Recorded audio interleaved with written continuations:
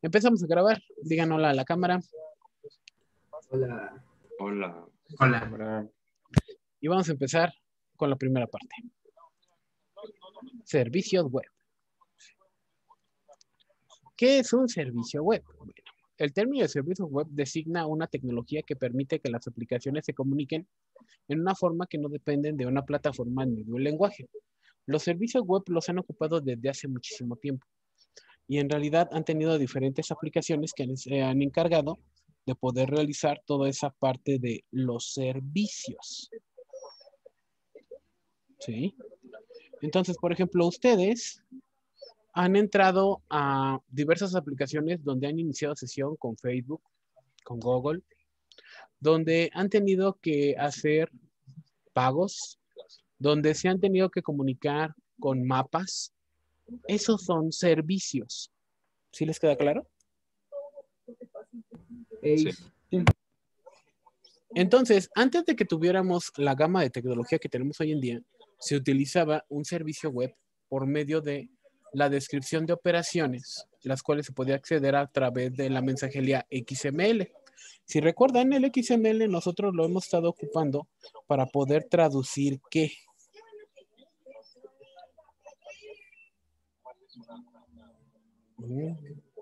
Meña, meña. Información, ¿no? Estamos traduciendo las URLs que vienen por parte del servlet, ¿sí o no? Para que pueda ser encontrado y visualizado. ¿Se acuerdan o no? Ya que en el XML agregamos servlet, el nombre del servlet, los parámetros, la URL. ¿Sí o no? Sí. Entonces, XML utiliza protocolos basados en lenguaje de objeto para describir la operación y ejecutarla para poder intercambiar información. Un servicio web es una tecnología que utiliza un conjunto de protocolos y estándares que sirven para intercambiar datos entre aplicaciones. Distintas aplicaciones de software desarrolladas en lenguajes de programación diferentes y ejecutadas sobre cualquier plataforma. Y pueden utilizar los servicios para intercambiar datos en redes y ordenadores como Internet. La interoperatividad se consigue mediante la opción de estándares abiertos. Organizaciones, como ASIS, W3C, son los comités que se encargaron de diseñar dichas arquitecturas. Y en realidad estamos hablando que muchos de los patrones de los elementos de web vienen desde hace muchísimo tiempo, pero muchísimo tiempo. ¿Sí? Entonces, ¿qué se puede hacer con los servicios? La interacción entre los servicios en cualquier plataforma escritos en cualquier lenguaje. Aquí es donde, por ejemplo, de que yo tengo que unir una parte de un programa que está hecho en Python y un programa que está hecho en Java. Entonces voy a consumir un servicio. Conceptualizar funciones de aplicaciones en tareas, lo que lleva al desarrollo y flujos de trabajo orientado a tareas permite el acoplamiento flojo, lo que significa las interacciones entre aplicaciones de servicio y no se rompen siempre que haya un cambio en la forma de diseño o implementación de un servicio. Adaptar las aplicaciones ya existentes a las cambiantes condiciones empresariales. Proporcionar aplicaciones de software ya existentes o legadas con interfaces de servicio sin cambiar las aplicaciones originales, lo que permite operar totalmente en el entorno de servicios. Introducir otras funcionalidades administrativas o la gestión de operaciones como rendición de cuentas, seguridad, independientemente de la función original. Entonces, aquí es donde, por ejemplo, tienen que empezar a pensar que hay muchas, muchas aplicaciones que hacen solo una tarea. Como por ejemplo, imaginemos que ustedes, con su carrito de compras que están haciendo para PSW, les dijera, ya no quiero que tengan un sistema de pagos por medio de efectivo ni con tarjeta, sino que te tienes que conectar a la API de PayPal. Entonces tú dejas de hacer esa operación. ¿Estamos de acuerdo? Sí. Entonces ahí es donde empiezas a consumir un servicio. Y si te dijera, ¿sabes qué? En el módulo de registro quiero que agregues Google Maps para que en lugar de que yo te ponga la dirección, la calle, el número, bla, bla, bla, simplemente agarras el mapa, pones el puntero y que identifique longitud y latitud de dónde está la dirección. Ahí es donde otra vez estás consumiendo un servicio, porque es para identificar la dirección. ¿Estamos de acuerdo? Sí. Entonces, eso es empezar a tener elementos de servicio. ¿Sí les queda claro? Sí. Los servicios pueden ser cualquier cosa que ustedes se imaginen, pero cuando se inició la gama de servicios se empezó con infraestructuras grandes. ¿Por qué? Porque se pensaban para proyectos grandes, gigantescos. Entonces, los servicios web involucran una familia de protocolos relacionados para describir y suministrar servicios web. Por ejemplo, en primer lugar, mensajería y dirección, suministro y descripción de interfaz. El protocolo más conocido es SOAP. Este protocolo codifica mensajes para que puedan ser entregados en la red. Entonces, algo, algo muy, muy, muy sencillo de entender SOAP es de, por ejemplo, ustedes han visto ciertos correos electrónicos donde automáticamente se responde. Abres el, el, el, este, el correo y automáticamente lo responde. ¿Sí lo han visto o no? Sí, Entonces, ese es un tipo de servicio que ya es automático. ¿Sí? El lenguaje de descripción de servicios es el WSDL. Es representado como una serie de sentencias XML que constituyen la definición de la interfaz. Y otra especificación es el progreso actual, es el WS Addressing, que define cómo dar direcciones exclusivas e identificar formas exclusivas de servicio en la web en, en una arquitectura distribuida. Aquí, un ejemplo de esto es de que yo voy a tener varias bases de datos, ¿sí? Como por ejemplo, digamos que ya vamos a volver a Cinemex y tú vas a consultar la cartelera y no tienen una base de datos, tienen varias, porque tienen la base de datos que es de las películas, con la base de datos de los horarios, con la base de datos de los boletos. Entonces, tengo tres bases de datos. Ocuparía este tipo de servicio para concatenar, ¿sí? La consulta y obtener los parámetros de esos datos. ¿Sí me entienden?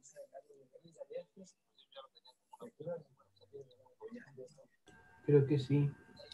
Otra especificación del Web Service Invocation Framework en la cual se puede definir interfaces WSL para todos los tipos de componentes. ¿Qué dice aquí? Sí. El siguiente grupo de protocolos y especificaciones define cómo los servicios se anuncian y encuentran otros servicios en la red. Para que un servicio encuentre a otro, en protocolo de descripción Descubierta e Integración Universal, UDDI, define un registro y protocolos asociados para ubicar los servicios. Por ejemplo, pensemos en su celular antes de tener GPS. Pensemos en su máquina antes del GPS. ¿Cómo yo podía saber de dónde estás? Te los enseñé.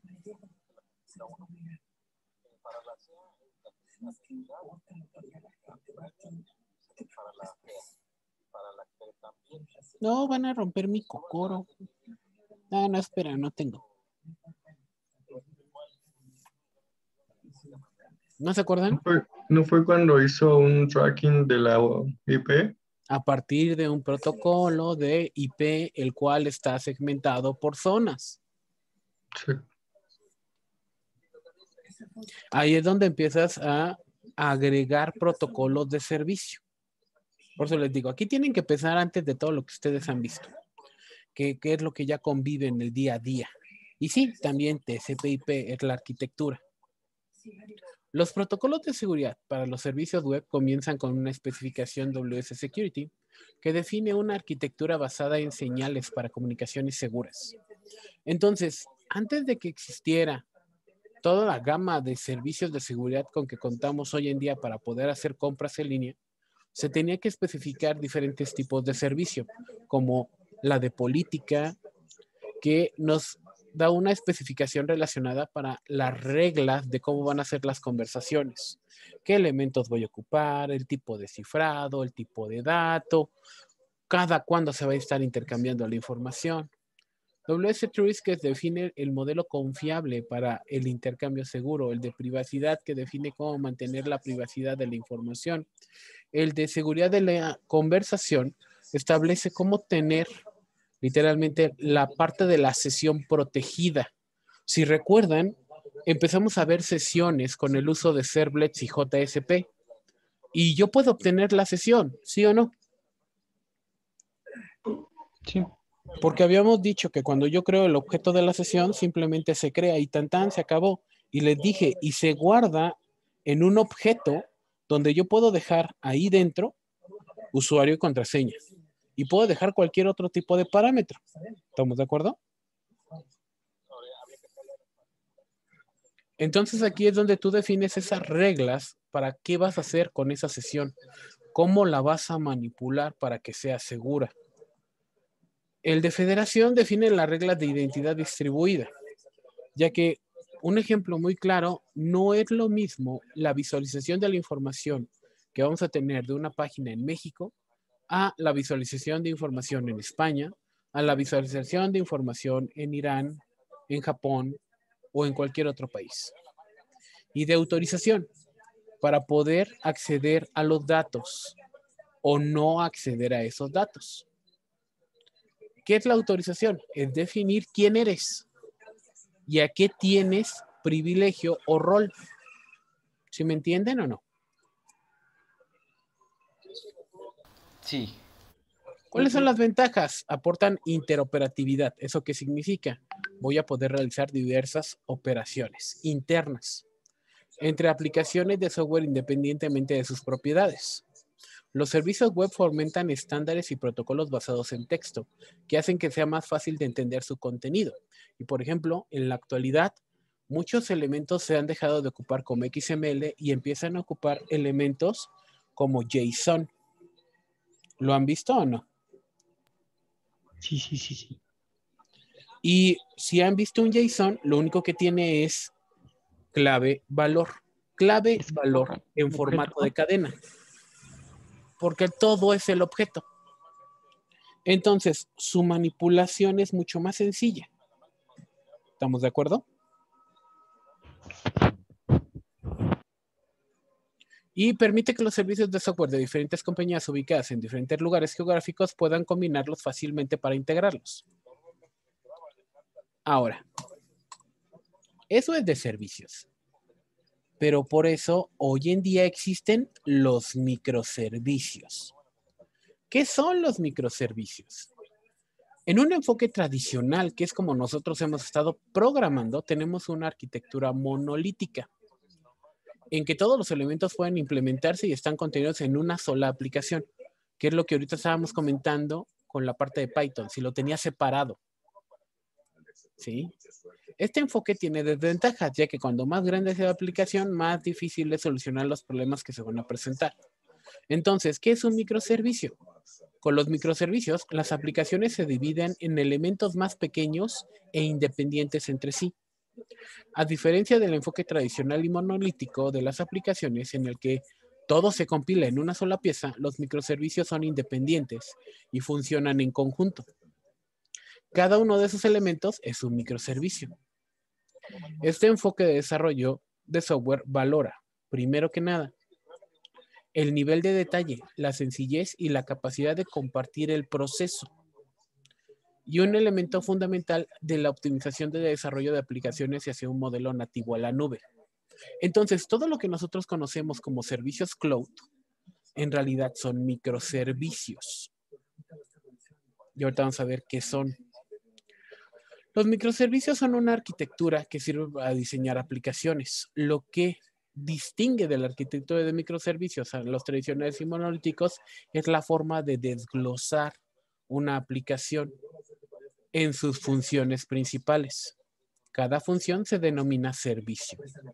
Entonces, nosotros hemos estado haciendo modelo vista controlador de un carrito de compras, el cual tiene una interfaz en UI o UX, que es la página.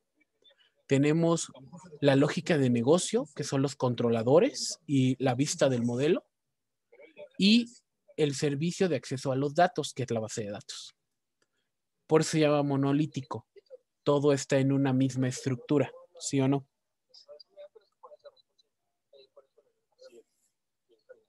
Sí, sí, sí. Sí.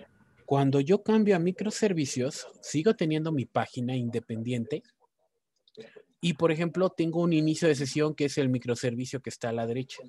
Y lo voy a consumir con Facebook, con Google, con Instagram, con lo que ustedes quieran. Pero ya es una función. ¿Cuál función es? Iniciar sesión. Voy a tener otro microservicio que se va a encargar de, por ejemplo, la parte de los pagos. Llámese PayPal, llámese Mercado Libre, llámese cualquier app que consuma para pagar. Ahí hay otro microservicio. Voy a tener un gestor de contenidos, donde voy a tener la separación de la base en una base de datos relacional y en una base de datos no relacional. O tal vez tenga dos bases de datos, entonces ya voy a tener dos microservicios. Porque en una base de datos voy a tener los productos y en otra base de datos voy a tener un catálogo de direcciones y pólizas. Entonces, en lugar de tener todo en un mismo lugar, lo separo y se hace ya de forma independiente. Entonces, si por alguna extraña razón el de pagos no funciona, todo lo demás está funcionando. Si por alguna razón el de pólizas con los productos no funciona, todo lo demás sigue funcionando. Y así nada más atiendo una funcionalidad. Si me doy a entender?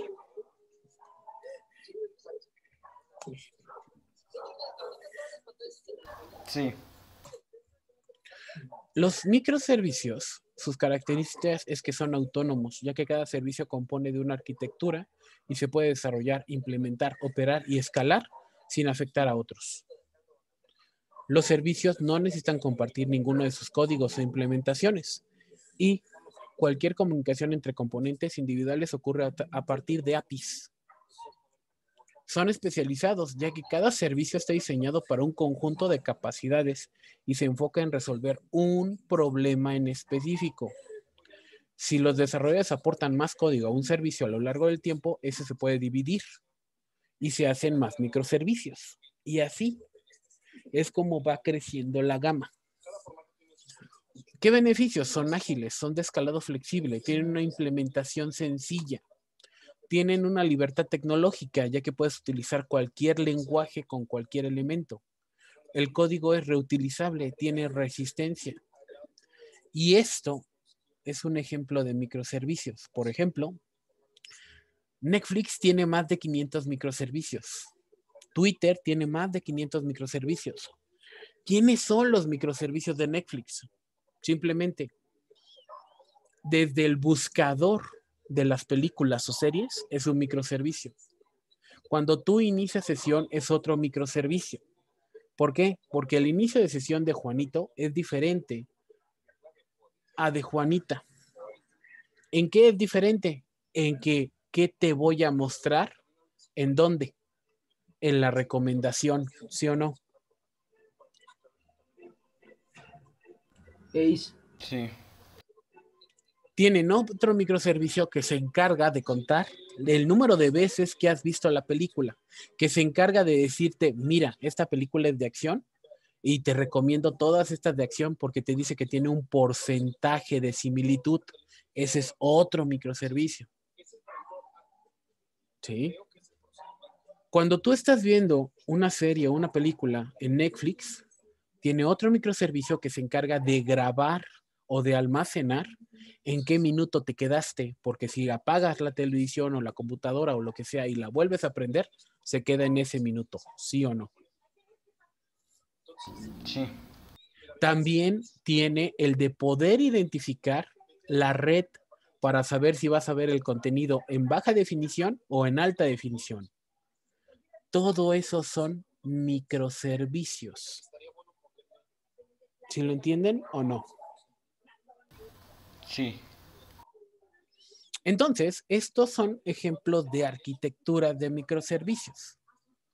¿Sí? De cómo yo puedo empezar a construir una aplicación separando elementos. Entonces, por ejemplo, el que tenemos a la parte de inferior derecha, están utilizando para la parte de configuración un servidor en HighStream están utilizando GitHub como manejador de versiones, están utilizando Java como desarrollo y están utilizando el servidor de Jenkins. Para su construcción están utilizando Maven y están utilizando tres tipos de elementos de base de datos, Docker, Kubernetes y Cloud. Eso es una arquitectura. Entonces todo está completamente separado. ¿Sí? Y puedo crear arquitecturas tan complejas o tan sencillas dependiendo de las necesidades. Entonces, por ejemplo, ahorita lo que están haciendo de proyecto aula, donde debo de tener una parte hecha en Java y otra parte hecha en Python, ahí es donde empiezo a consumir microservicios, porque debo de tener un servidor para Java y debo de tener un servidor para Python. Y debo de tener un punto donde van a estar interactuando con los datos a partir de una API que se tiene que conectar con la base de datos. Entonces debo de tener otro servidor que es para la base de datos. Y es el que se va a encargar del intercambio de la información. Y no, no es tan sencillo como suena cuando apenas estás viendo los elementos por primera vez. ¿Sí? Nosotros lo más cercano que hemos hecho es la separación de los elementos con lo que estuvimos manejando de GitHub, con lo que estuvimos manejando de servidores, llámese Heroku, llámese DigitalOcean, y apenas empezamos a implementar. ¿Sí? ¿Dudas?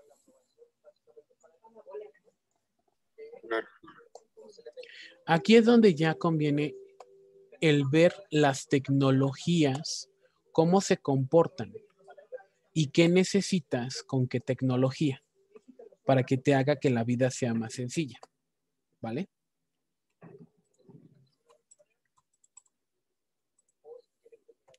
Y eh, por último, seguridad web. La seguridad web en la informática, como en otras áreas, se basa en la protección de los activos. ¿Qué son los activos?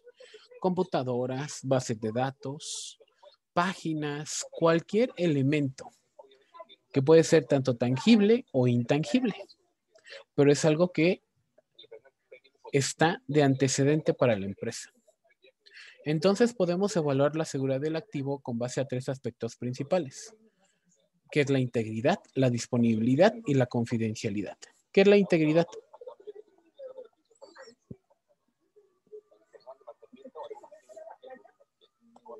Que se guarden bien los datos, que no sean modificados, que no pierdan su valor. Mm. Disponibilidad. Que se puedan acceder. Que se puedan acceder. Y confidencialidad. Que no estén disponibles para todo el mundo. Que tenga un cierto política o un cierto elemento para que pueda acceder a él. Pero esos tres aspectos dependen de otros tres, como el nivel de autenticación, el nivel de autorización, registro de auditoría. ¿Qué es la autenticación? Comprobar que sea la persona, que la persona que está intentando acceder a la información sea la persona que quieres que acceda. Saber quién es el que va a acceder. ¿Y la autorización?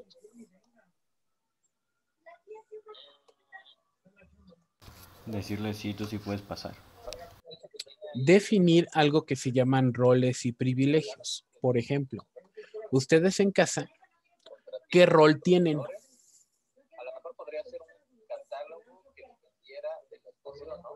¿De hijo? ¿Y a qué autorización tienen? Porque yo que sepa, pueden administrar ustedes. Ninguna. Ah, ¿cómo que ninguna? ¿A poco no administras tu cuarto? Ah, bueno, sí, pero Ah, entonces Sí. sí administras, pero no el mismo que todos, solamente tu cuarto. Tienes una restricción. ¿Estamos de acuerdo? ¿Quién tiene más autoridad que tú? El papá o la mamá. El gato, en realidad. todos. Bueno, el gato sí. El gato y el perro tienen mayor autoridad, porque si el gato o el perro dicen miau o dicen guau, ¿quién le da de comer? Nosotros. Ok, eso ahora me perturba un poco. Exacto. Y si tú tienes hambre, ¿quién te da de comer? Yo mismo. Sí estoy de buen humor.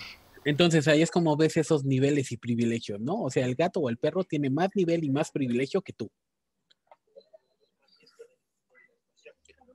¿Estamos de acuerdo? ¿Y quién está por encima de todos?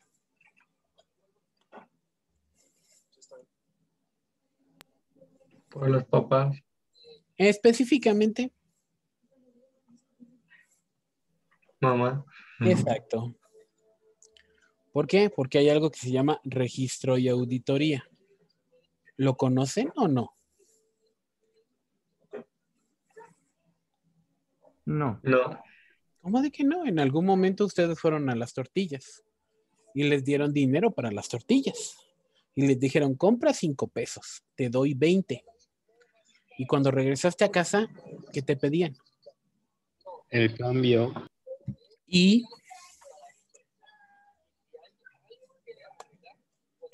Desaparecía. no. De un lado mamá te decía a ver el cambio y del otro lado a ver las tortillas y las pesaba para ver que realmente hubieras comprado los cinco pesos y no te hubieras volado algo. Yo no. Sí. Porque si no, en la parte de atrás venía la chancla voladora. El registro y la auditoría es la que se encarga de que la transacción que se haya hecho quede registrada y sea validada. ¿Sí lo entienden? Sí. Sí. Entonces, la autenticación, los clientes de nuestras aplicaciones o servicios deben ser identificados de una forma única. Lo podemos hacer por huellas dactilares, por iris, por voz, por usuario y contraseña, que es la que nosotros vimos porque estamos chiquitos. La autorización no solamente es saber quién está accediendo, sino también qué puede hacer. Entonces, le vamos a decir ciertos niveles de qué sí puedes hacer, qué no vas a poder hacer. Entonces, hay roles y privilegios. Y registro y auditoría, luego de ser efectuada una operación, es importante que sea registrada adecuadamente. En particular, es esencial evitar el repudio de la transacción efectuada por un cliente. Por ejemplo, cada vez que ustedes compran algo en línea, les mandan, oh, muchas gracias por tu compra. Aquí está tu ticket. Validaremos la información. Y luego, oh, aquí está el código de, resete- de rastreo de tu paquete. Oh, tu paquete ha sido enviado. Oh, tu paquete ha sido entregado. Todo eso, ¿para qué es? Para que no digas, no me llegó. ¿Sí o no?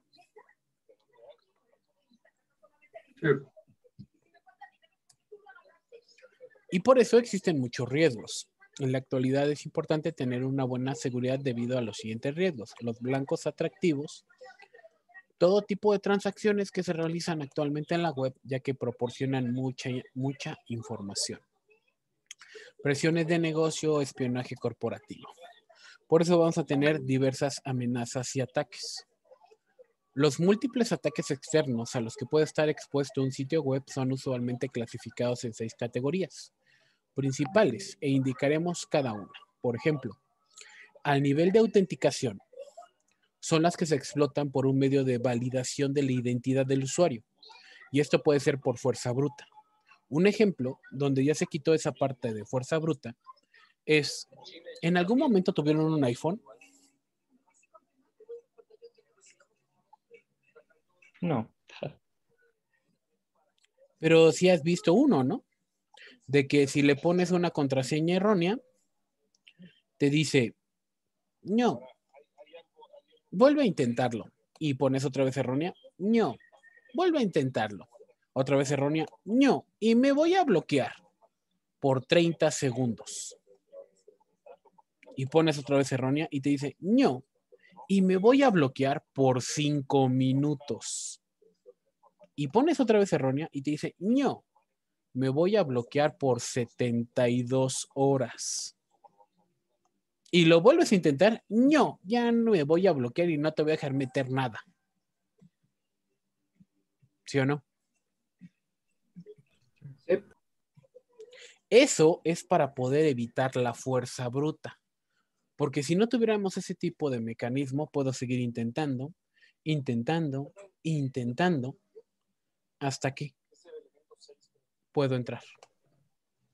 Hasta que en algún momento le tienes. Exacto. ¿Estamos de acuerdo? ¿Dudas? Este, No, hasta el momento no. No, no, no. Autenticación insuficiente. O sea, no tienes una cadena lo suficientemente buena para poder decir que es segura. Como cuando ustedes tenían contraseñas únicamente numéricas. Débil validación de recuperación de password. Si recuerdan, cuando ustedes le dan de que he olvidado mi contraseña, te dice, este enlace solamente es viable o factible durante los próximos cinco minutos. ¿Sí o no? Sí. Entonces, si no tenemos ese time out, ¿qué va a pasar? Si vuelven a entrar, van a poder resetear la contraseña otra vez. Y no necesariamente es la misma persona. ¿Estamos de acuerdo?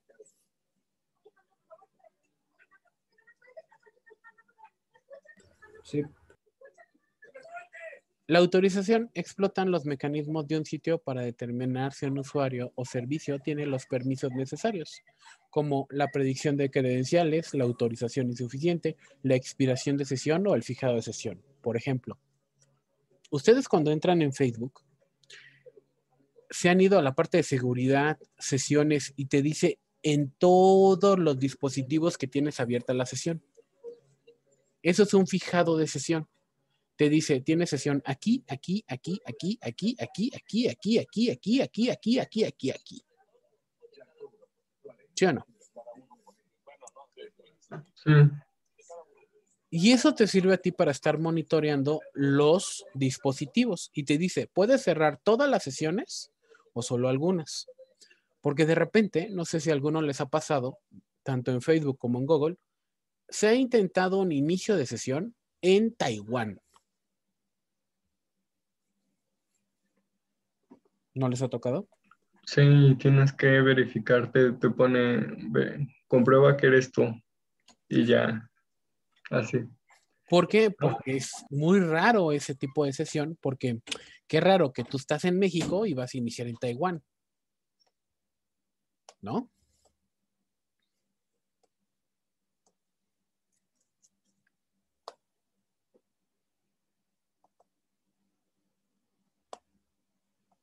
¿Estamos de acuerdo? Sí,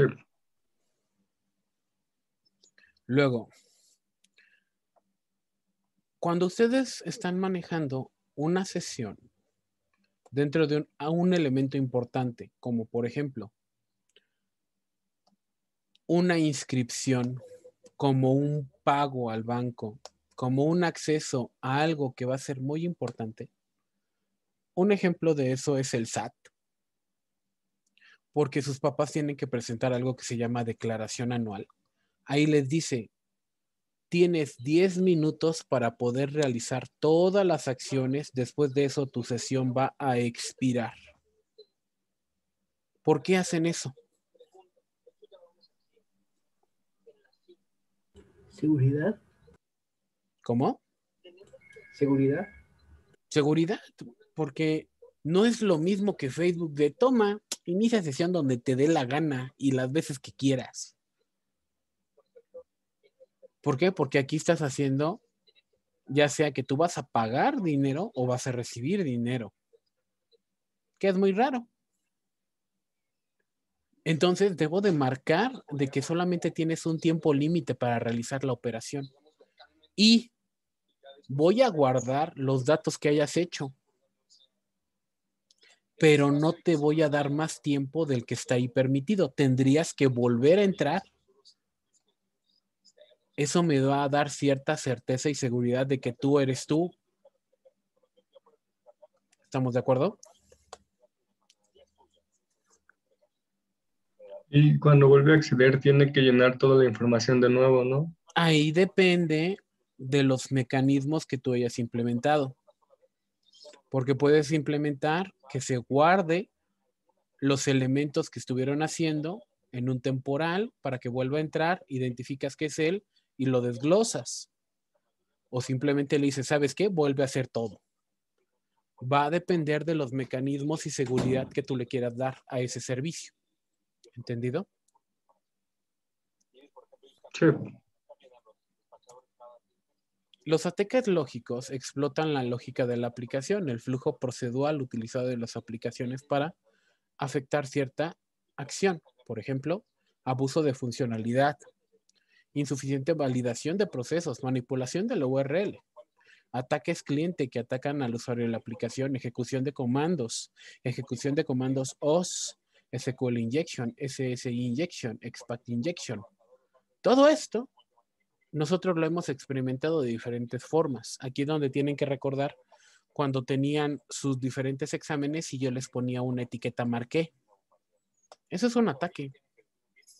Porque estoy alterando la información visual de tu contenido de la página.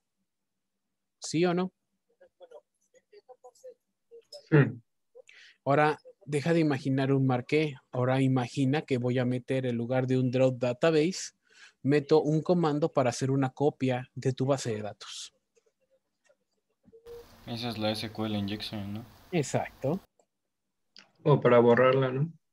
Yo lo hago para borrarla porque es más fácil calificar un proyecto que no tiene base de datos para reprobarlos. Pero cuando es un ataque conviene más copiar la base de datos completa. Exacto, porque ahí viene toda la información. ¿Estamos de acuerdo? Sí. Entonces es por eso que se les informó. Tienen que validar los campos. Y no solamente por JavaScript, sino tienen que crear expresiones regulares para que no exista esa intromisión dentro de los campos. ¿Estamos de acuerdo?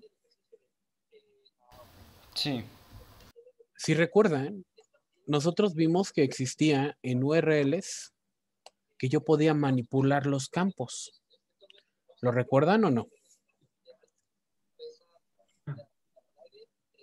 ¿No recuerdan que yo ingresaba al URL y me mandaba error porque no habíamos hecho la conexión con base de datos, pero yo mandaba identificador, signo de interrogación, identificador igual a 1 y salía la página? sí, yo estaba manipulando la URL. Entonces, si tú tienes conocimiento de la estructura o de la lógica de la página, puedes navegar entre URLs que no son tuyas. Y por eso les dije, en JSP metimos la parte de sesión para por si alguna extraña razón el cliente entra a una, a una zona que no debe, lo redirecciono. ¿Lo recuerdan? sí, Entonces, todo eso me sirve a mí para poder conformar que el programa funcione de forma correcta. Porque algo que no se le debe de permitir a un programador es que pueda visualizar los errores. Y por eso les enseñé que podíamos mandar un send redirect a la página original y un send redirect a una página de errores. ¿Lo recuerdan o no?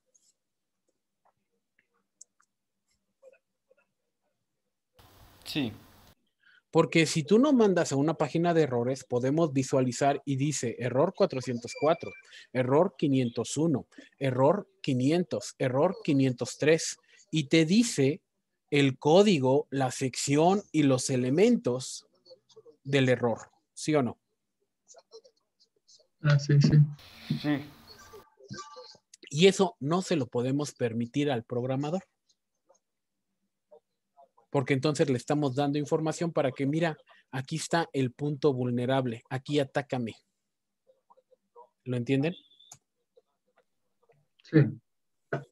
sí, SQL Injection es una vulnerabilidad que afecta a aplicaciones a nivel de base de datos. Dicha vulnerabilidad consiste en enviar instrucciones SQL adicionales a partir de parámetros de entrada.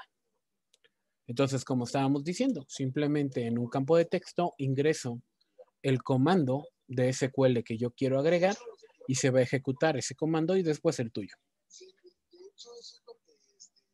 ¿Sí? Permite al atacante saltar restricciones de acceso.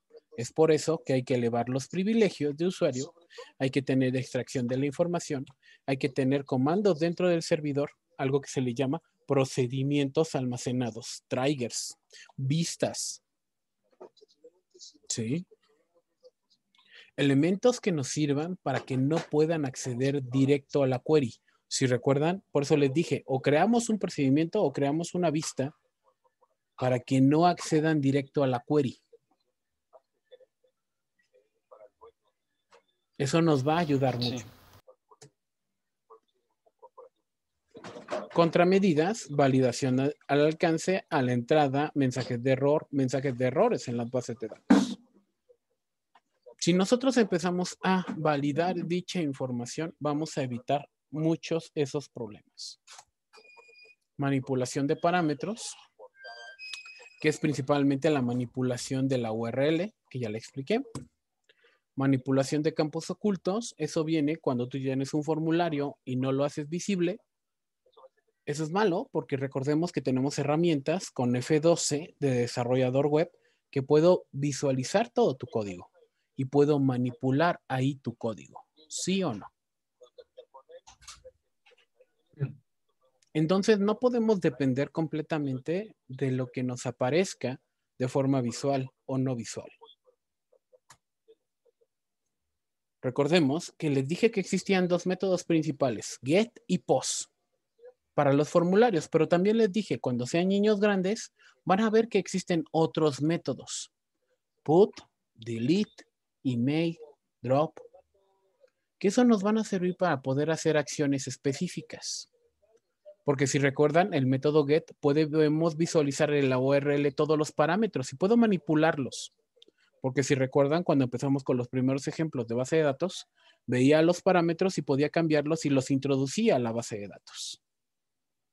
Y el método post sigue siendo de los más utilizados, pero no es una contramedida para salvaguardar la información. ¿Estamos de acuerdo?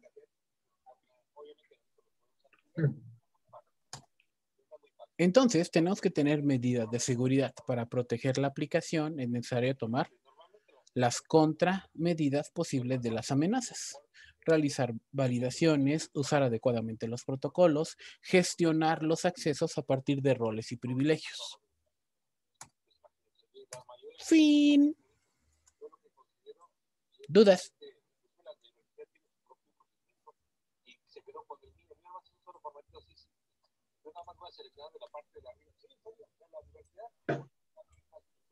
¿Dudas?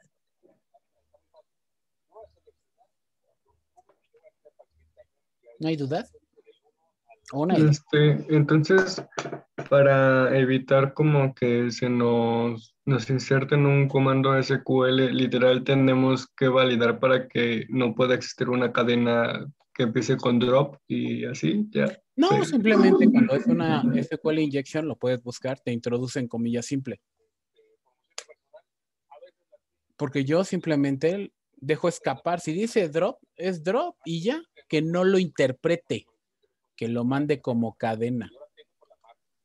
Si recuerdan, cuando empezamos a ver eso, les dije algo que se llamaba satinizar el código. El satinizado del código sirve para que no interprete el código, sino todo lo pasa como cadena. Entonces, un drop es un drop y ya. Es una cadena que dice D-R-O-P, tan tan. Ya, ya, ya. Y, y eso cómo, cómo se hace? Satinizado del código. Expresiones regulares.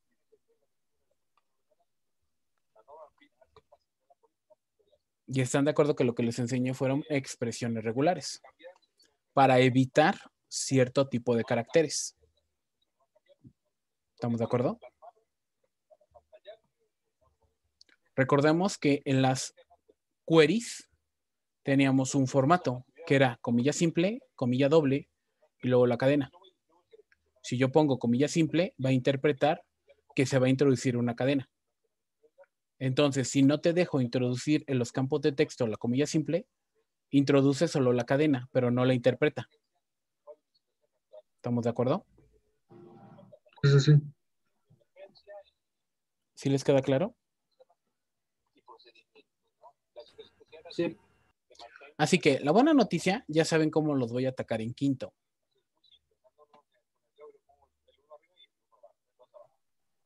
Sí. Y haré cosas peores. Ay, no. Ay, chi.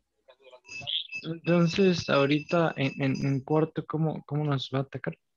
Con lo que les enseñé, validación, lógica y que haga lo que tiene que hacer.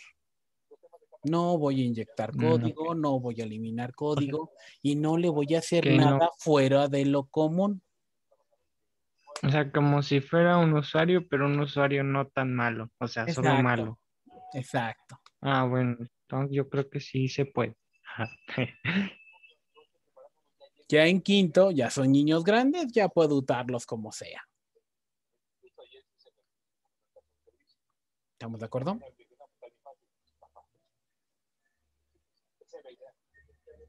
Es cruel, pero justo. Así que, ¿no hay dudas? No. Vale, entonces díganle adiós a la cámara. Ah, Adiós. Díganle que van a morir en, en Expobatis y van a morir en Proyecto Jaula y van a morir en Carrito de compra. No. Saludos para los nuevos subs del profe. Oh, sí. Ayú.